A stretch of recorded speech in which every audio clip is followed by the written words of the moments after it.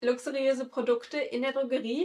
Produkte, die einfach performen wie High-End-Produkte. Produkte, die vom Packaging her, vom Feeling her High-End-Vibes geben und vielleicht sogar in Sephora oder Douglas stehen könnten. Darüber wollte ich heute sprechen. Alle Produkte sind entweder bei Müller, Rossmann oder DM im Store oder online erhältlich. Und ich habe so einen kleinen Mix aus Lifestyle- und Beauty-Produkten. Und apropos Luxus, ich bin super happy und auch stolz, dass der nächste Teil des Videos in Partnerschaft mit Lily Silk ist. Die meisten von euch werden wahrscheinlich schon von Lily Silk gehört haben. Ihr könnt dort wunderschöne Kleidung, Bettwäsche und Accessoires aus hundertprozentiger, hochwertiger Maulbeerseide bekommen. Und ich bin tatsächlich letztes Jahr auf Lily Silk aufmerksam geworden, weil mir ist aufgefallen, also ich liege immer auf dem Bauch und dann so auf der Seite, dass einfach auf dem Gesicht besonders an den Augen meine Falten viel, viel stärker waren als auf der anderen Seite. Und dann habe ich von den Vorteilen von hochwertiger Seide für die Haut gehört, habe mich so ein bisschen mehr damit beschäftigt und habe mir dann zu Weihnachten von meiner Mama einen ähm, Seidenkissenbezug gewünscht und auch bekommen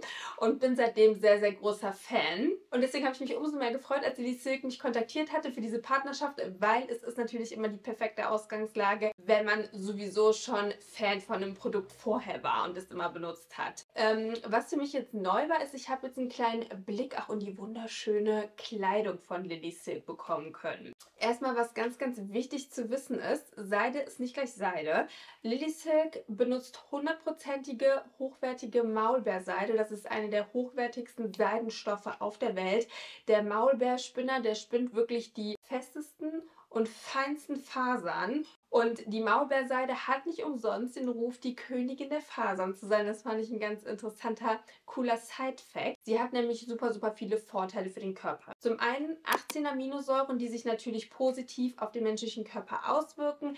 Sie ist hypoallergen, atmungsaktiv, frei von Milben, Pestiziden und Pilzen. Und sie bietet einfach immer die perfekte Ausgangslage, egal bei welchem Wetter. Also im Sommer ist Seide unwahrscheinlich angenehm, weil einen sehr schön kühlenden Effekt und leichten Effekt auf der Haut hat. Und im Herbst, Winter wirkt sie Temperatur ausgleichend. Und Seide ist die unserer Haut am nächsten liegende Faser und deswegen empfinden wir die halt einfach auch als so angenehm. Fand ich auch ganz interessant.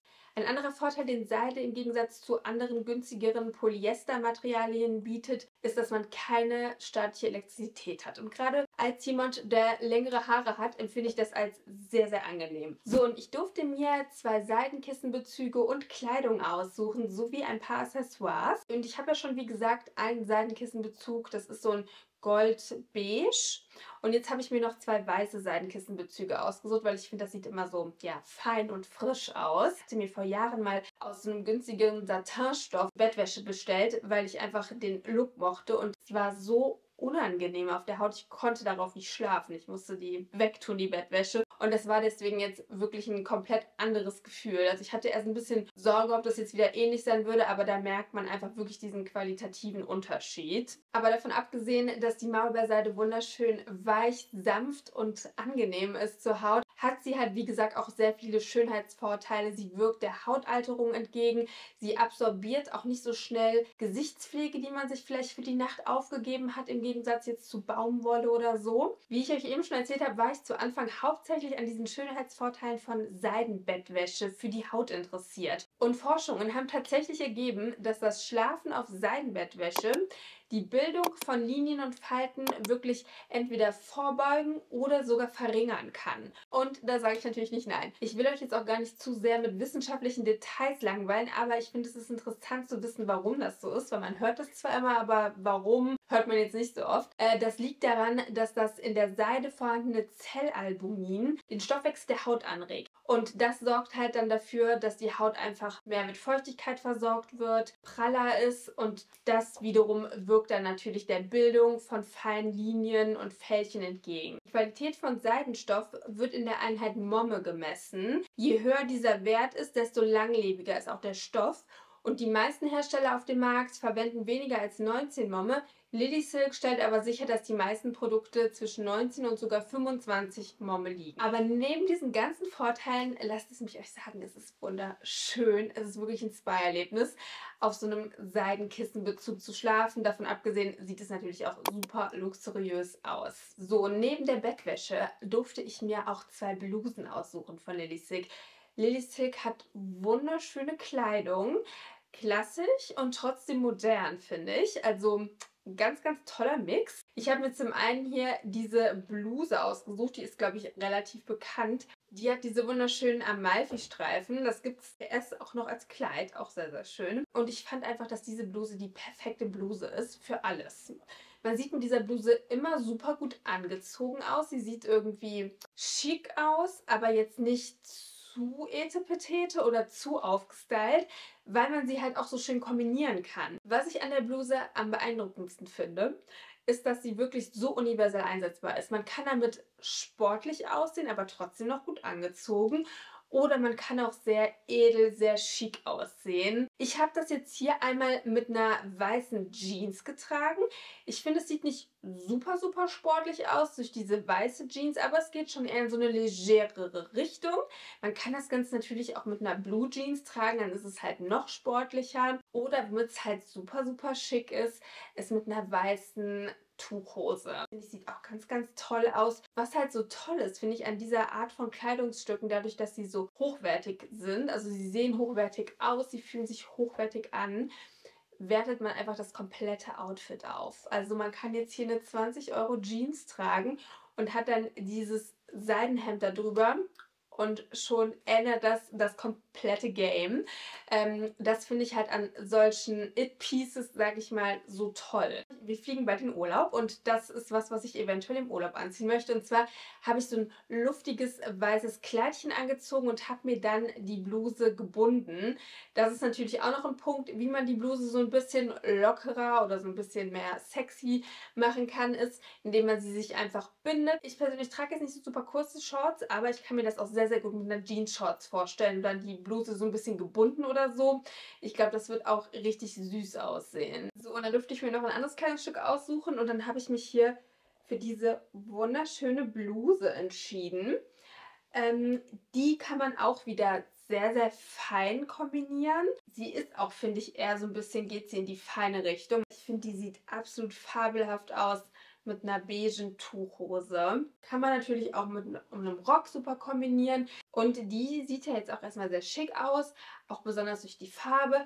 Aber ich finde, dass diese raffinierte Raffung an der Seite dem Ganzen so einen kleinen Kick wieder verleiht. Auch jetzt für den Herbst dann einfach mit einer Strumpfhose und ein paar Boots oder so, kann ich mir auch super gut vorstellen.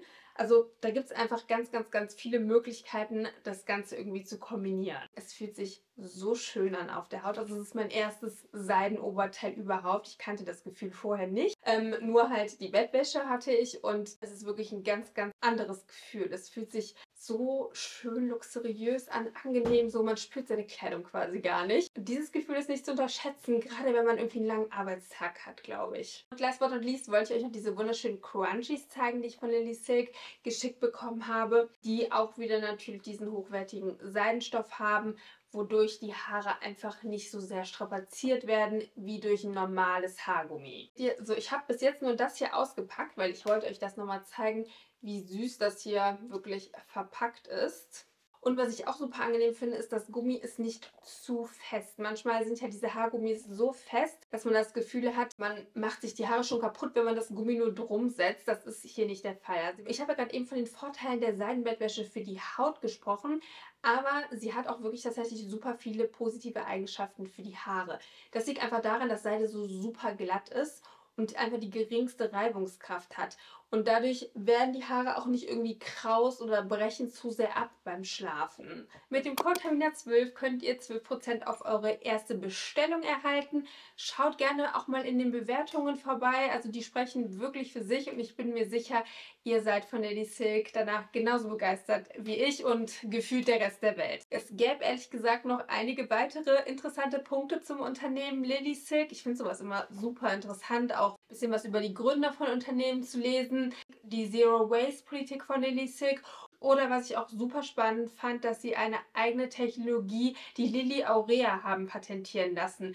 Aber ja, falls euch das vielleicht genauso wie mich interessiert, könnt ihr da gerne mal auf der Website auch vorbeischauen. Jetzt würde ich sagen, legen wir aber los mit dem Rest des Videos. Luxuriöse Produkte in der Drogerie.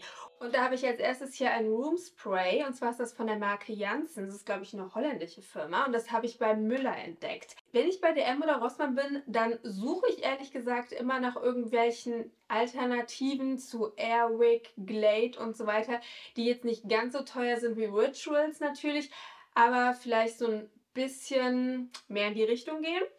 Und hiermit bin ich auf jeden Fall fündig geworden. Das ist der Duft Skin 90. Der hat White Lily und Cherry Blossom Perfume drin. Und der erinnert mich super, super stark an diesen weißen Duft von Rituals. Riecht fast genauso, würde ich fast sagen. Und es hält auch wirklich richtig, richtig lange. Ich habe das letztens auch im Hausflur gesprüht und am nächsten Tag hat es immer noch danach geduftet. Ähm, die Marke hat Autoparfums, Kerzen. Habe ich momentan auch einen im Badezimmer stehen. Äh, ich hatte jetzt so drei Hauptduftrichtungen aus diesem Basic-Sortiment gefunden. Und mir hat jetzt persönlich der Duft Skin 90 und Sun am besten gefallen. Und ich finde auch, dass die Flasche ganz cool gestaltet ist. Man könnte da vielleicht noch ein bisschen dran feilen, auch am Design von den Kerzen. Es ist nicht schlecht, aber vielleicht könnte man da noch so ein bisschen mehr Liebe reinstecken. Dann könnte man das, glaube ich, mit wenig Aufwand noch ein bisschen luxuriöser gestalten. Ich finde, es ist vom Design und vom Duft her um Klassen besser als Airwick Glade und wie sie nicht alle heißen. Es ist ein Ticken teurer, aber es ist jetzt noch lange nicht so teuer wie die Rituals Duftsprays, die natürlich auch nochmal ein bisschen schöner sind, aber das zahlt man halt auch. Und ja, ich bin super happy, dass ich das gefunden habe und werde da, denke ich, auch noch andere Produkte von ausprobieren. Die haben auch noch Body Sprays, habe ich gesehen. Das wollte ich euch unbedingt zeigen. Wir bleiben mal gerade in der Duftrichtung und zwar habe ich zwei Parfums gefunden beim DM, die für mich so ein bisschen rausgestochen haben und nicht so wie diese typischen absolut günstig aussehenden DM-Parfums äh, waren. Besonders die, die jetzt irgendwie ja so Dupes zu High-End-Parfums sein sollen, wie dieses rote von Riverty oder wie das heißt. Ihr wisst, was ich meine, oder? Die finde ich wirklich ganz schlimm. Ich habe jetzt zum einen hier, das ist ein neueres Parfum, das heißt Innocent und das ist von der Marke Girl Happens. Das ist ein Eau de Parfum, ist in Frankreich hergestellt worden und die Inhaberin hat irgendwie gesagt, sie hat so in der Drogerie nichts Richtiges gefunden und deswegen hat sie sich gedacht, machen wir es einfach selbst. Stand auf der Rückseite von der Verpackung so ein kleiner Text, das fand ich ganz nett. Und ich habe beide Duftrichtungen mitgenommen, aber das hier gefällt mir um einiges besser. Es riecht richtig, richtig gut und teuer. Und es ist absolut inspiriert von dem Chloe Parfum mit der Schleife. Es ist kein Dupe, aber man merkt, dass es von der Duftrichtung her sehr inspiriert wurde durch dieses Parfum und es riecht überhaupt nicht günstig, sehr, sehr frisch, leicht süßlich trotzdem, aber auch nicht zu süß, sehr feminin und gefällt mir richtig, richtig gut. Und ich finde den Flakon wirklich auch ganz cool. Ist auf jeden Fall mal was anderes für die Drogerie. Ist sehr modern, hat mich so ein bisschen an die Clean Reserve Düfte erinnert. Die haben ja auch diesen Holzdeckel. Ein weiterer Duft, der mir aufgefallen ist, sind hier diese Nature Blossom Düfte. Das sind 100% Natural Ingredients. Manche waren mir jetzt zu extrem. Da war zum Beispiel eins, das war quasi purer Amber. Ich mag Amber normalerweise gerne in Parfums, aber das war jetzt zu viel. Hier, das ist jetzt Coco Vanilla. Das ist interessant. Also ich kann mir das auch sehr, sehr gut vorstellen, irgendwie zum Layern mit anderen Parfums. Ich finde, es riecht überhaupt nicht günstig. Es ist am Anfang sehr, sehr intensiv. Man muss es so ein bisschen verfliegen lassen. Der Kokos kommt stark raus. Es wäre jetzt auch auf jeden Fall etwas, was ich nur im Sommer tragen würde. Das wäre für mich jetzt kein Herbst-Winter-Parfum. Aber von der Idee her gefällt es mir sehr, sehr gut. Ich mag den Duft und ich muss sagen, ich fand den Flakon richtig schick. Als nächstes habe ich was in der Haarkategorie und zwar eigentlich eine komplette Marke und zwar die Marke Kristen S. Insbesondere drei Produkte, die ich sehr, sehr, sehr mag von der Marke. Ich habe noch nicht alles ausprobiert, aber sehr vieles, was jetzt zumindest im DM verfügbar ist. Zum einen hier das Kristen S Extra Gentle Shampoo. Das ist ein Gently Cleansing und Nourishing Shampoo, was einen tollen reinigenden Effekt hat. Erst einmal die Verpackung finde ich absolut High-End. Das könnte ohne weiteres auch in einem Friseurbedarf stehen oder in einem Douglas oder in einem Sephora. Auch hier mit der Verpackung, das ist irgendwie ganz cool, dass man das hier oben so aufklippt. Der Geruch ist leicht fruchtig und leicht vanillemäßig. Man kann es so ein bisschen schlecht beschreiben. Es ist auf jeden Fall ein sehr sanfter Geruch. Hier steht extra drauf, dass es besonders gut für Leute geeignet ist mit einer sensiblen Kopfhaut, weil es halt auch nicht stark parfümiert ist. Und es hat wirklich trotz der guten reinigenden Wirkung auch noch einige pflegende Inhaltsstoffe fürs Haar, weil das ist ja oft so ein bisschen das Problem. Man will einerseits ein gut reinigendes Shampoo haben, besonders wenn man vielleicht auch eher mit feineren Haaren oder schnell fettigen Haaren zu tun hat, dann ist es auch nicht gut, wenn da zu viele pflegende Inhaltsstoffe sind, weil es die Haare einfach zu sehr beschwert. Aber Shampoos, die zu viele reinigende Inhaltsstoffe drin haben und zu wenig Pflege, können dann halt auch Irritationen hervorrufen. Und deswegen finde ich, dass das hier eine super gute Mittelwegsalternative ist. Das Wort gibt es nicht. Es ist ein super guter Mittelweg. Und ich habe es schon oft erwähnt, aber das Kristen S Dry Finish Working Texture Spray und das Dry Shampoo. Texture Spray habe ich letztens nicht mehr in meinem DM gesehen. Ich hoffe nicht, dass das rausgenommen wird. Das wäre eine Katastrophe. Aber beides super gute Produkte. Die Verpackung erinnert sehr an das Living Proof Dry Shampoo. Und ich finde dadurch, dass es irgendwie so minimalistisch alles gehalten ist und nicht so bunt und so weiter, wirkt es halt einfach direkt viel, viel hochwertiger. Aber es wirkt nicht nur hochwertig, sondern ich finde es auch von der Performance her richtig, richtig gut. Und kann auf jeden Fall mit High-End Haarprodukten meiner Meinung nach mithalten. Als nächstes haben wir wir hier eine neuere Entdeckung von mir und zwar ist hier von Bondi Essence der Body Moisturizer. Ich habe euch ja schon öfter erzählt von dem Duschgel, was ich absolut liebe und auch das Peeling-Salz. Aber ich habe letztens, als ich im Müller war, mir gedacht, komm, du nimmst dir mal hier diesen Body Moisturizer mit. Und ich weiß nicht warum, ich habe irgendwie erwartet, dass es eher so eine leichte, geligere Creme ist. Aber es ist eine richtig reichhaltige Milch, die aber trotzdem relativ halt dünn ist in der Textur, also wirklich milchig, schön einzieht, aber man spürt richtig sofort, dass sie einen richtig guten Pflegeeffekt gibt und sie lässt einen richtig schönen Glanz auf der Haut, der wirklich auch noch so ein bisschen nachhält. Absolut luxuriöses Gefühl, sich damit einzucremen. Sie hat diesen schönen salty Kokosgeruch, wie beispielsweise auch das Duschgel und ähm, das, das Peeling-Salz. Man muss natürlich Kokos dafür mögen. Ich persönlich mag den Geruch sehr, sehr gerne. Dieser Body Moisturizer ist angereichert mit Vitamin E und Jojoba. So meine liebste Hautpflegeserie, die es wirklich in der Drogerie gibt, ist die Marke No Make-up. Ich finde, die haben das wirklich revolutioniert, was es bisher bei uns in Deutschland in der Drogerie gab. Von allen Hautpflegemarken, die es jetzt in Deutschland in der Drogerie gibt, finde ich, dass die das wirklich am aller, allerbesten machen. Das Ganze ist transparent, das Ganze ist auf Qualität ausgelegt. Ähm, ich habe einige Sachen schon aus der Serie probiert und bis jetzt bin ich wirklich von jedem einzelnen Produkt begeistert gewesen. Was mir aber jetzt so vom Packaging her am luxuriösesten vorkam und natürlich auch was die Performance angeht, ist hier das 24K Gold Infused Beauty Oil. Das ist ein pflegendes Gesichtsöl mit 45% Wildrosen, 43% Aprikosenöl und es hat beruhigende Calendula drin. Und gerade wenn ich schon mal mit dem Extrem auf der Stirn zu tun habe und ich das abends aufgebe, sehe ich wirklich am nächsten Tag da auch schon eine Verbesserung. So, ich finde, die Verpackung kann ohne weiteres in einer günstigeren Abteilung von Sephora stehen. Jetzt habe ich als nächstes noch zwei Make-up-related Produkte und zwar ist es hier zum einen von Revolution der Glass Skin Primer. Das ist wirklich so ein ganz, ganz besonderer Primer. Den würde ich persönlich jetzt auch nicht aufs ganze Gesicht aufgeben, weil er sehr, sehr dewy ist. Äh, hab dazu aber auch gar keine andere Drogerie-Alternative. Wüsste jetzt aus dem Kopf auch nichts High-End-mäßiges.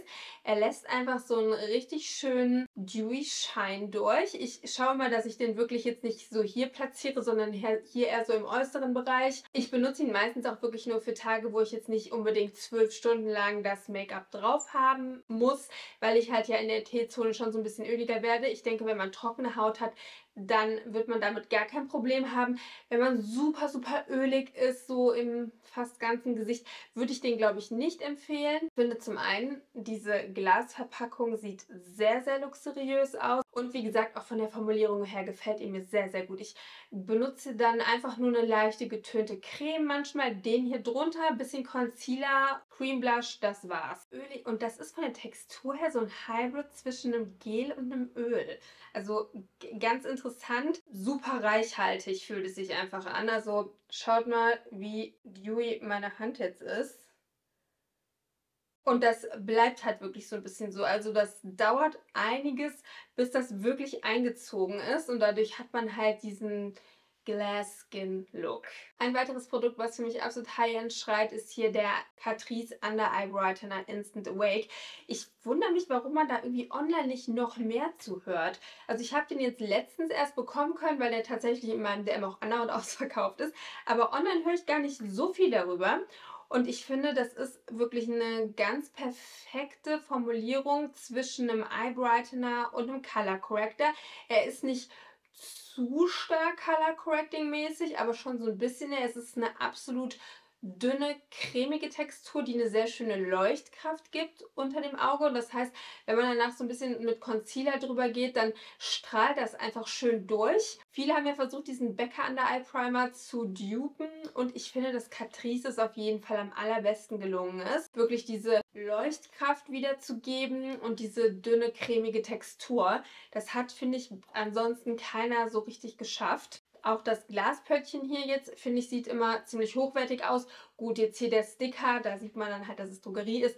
Aber wenn man das irgendwie so stehen sieht, dann sieht das nicht günstig aus. So, und dann möchte ich als letztes hier noch den Make-up-Balm von L'Oreal Age Perfect highlighten. Auch hier haben wir wieder eine schöne Glasverpackung. Da wieder der Drogerie-Sticker, aber ansonsten, ich finde, wie gesagt, eine Glasverpackung lässt immer alles sehr luxuriös aussehen, genauso wie wir es hier bei dem Primer hatten. Das ist wirklich eine so elegante, besondere Formulierung. Ähm, ich hatte letztes Jahr davon schon geschwärmt. Der ist ja letztes Jahr rausgekommen. Das ist quasi, ja, es ist eine Art Balm. Es ist jetzt kein Mousse wie das Maybelline Mousse oder so. Es gibt so einen leicht kühlenden Effekt, wenn man es auf die Haut aufgibt und dann schmilzt es wirklich in die Haut ein. Das heißt, es gibt einen absolut super natürlichen Effekt auf der Haut und ist einfach das perfekte No-Make-up-Make-up, finde ich, aus der Drogerie. Es ist feuchtigkeitsgebend, es ist aber nicht zu greasy oder so. Man kann es mit Puder setten, um die Haltbarkeit zu verlängern. Aber ja, das Tollste ist fast dieses kühlende Feeling, was man bekommt, wenn man das auf die Haut aufgibt. Das Einzige, was absolut schlecht ist das Color Range. Äh, das ist so ein bisschen schade. Das wäre toll, wenn die das vielleicht noch ein bisschen ausweiten könnten, weil ich finde, dass es ansonsten wirklich ein Produkt ist, was richtig raussticht aus der Drogerie. Noch ein Produkt von La Roche-Posay. Ich liebe die Marke, ich liebe die Augencreme auch von denen, aber ich wollte ganz besonders hier diesen Creamy Milky Cleanser highlighten, weil der ist von der Konsistenz her und vom Gefühl her sowas von High-End. Also das ist der schönste Milky Cleanser, den ich je ausgetestet habe. Das ist jetzt mittlerweile meine zweite Packung, die ist jetzt auch fast leer. Die wird es auf jeden Fall in mein nächstes Empties Video schaffen. Und den benutze ich immer morgens. Ich gebe mir den aufs Gesicht und danach spüle ich den ab mit Wasser. Man kann den aber auch so einfach mit einem Wattepad aufgeben. Man muss den also jetzt nicht mit Wasser abspülen. Aber der hat so ein schönes plushy milky Feeling auf der Haut überhaupt nicht austrocknet. Also gerade wenn man irgendwie mit sehr sensibler oder trockener Haut zu tun hat, dann ist der perfekt. Er ist für mich jetzt von der Reinigung her zu wenig. Wenn ich jetzt irgendwie ganz starkes Make-up drauf hatte und ähm, ich irgendwie sicherstellen will, dass wirklich alles weg ist, dann ist er mir ein bisschen zu leicht, aber er ist für mich irgendwie perfekt für morgens. Oder wenn ich halt jetzt eh nicht viel Make-up drauf hatte und das erstmal schon runtergenommen habe und danach einfach nochmal hier mit drüber gehe. Ich habe noch einen Lippenstift von Milani, den habe ich heute auch drauf.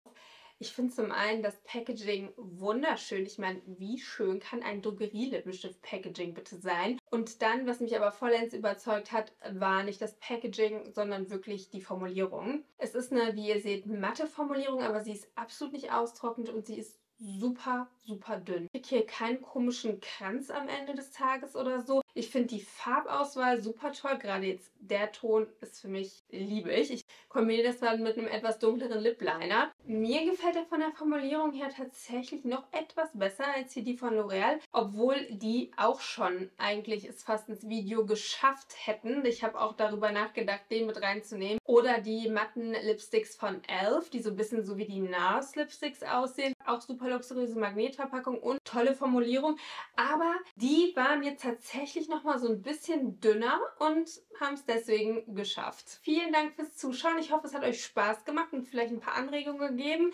Vielen, vielen, vielen Dank nochmal an unseren heutigen Sponsor Lily Silk. Schaut auf jeden Fall mal bei Lily Silk vorbei, ihr werdet es nicht bereuen. Und ja, hier ist nochmal der Code Tamina12 für 12% auf eure Bestellung. Und dann hoffe ich, dass ihr noch einen wunderschönen Tag habt und dass wir uns beim nächsten Video wiedersehen. Habt euch lieb. Mua.